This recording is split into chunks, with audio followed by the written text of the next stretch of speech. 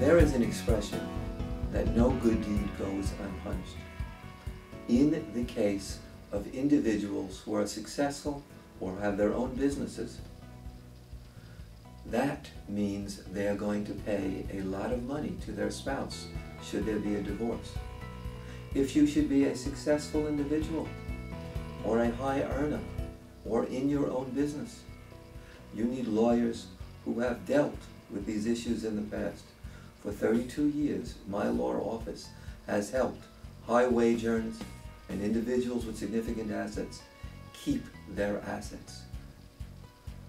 Again, I repeat, we have helped individuals who are high wage earners, who have significant assets, keep their assets. Very often in divorces, the spouse will want to liquidate the assets and destroy the life of the breadwinner. We are here to help you.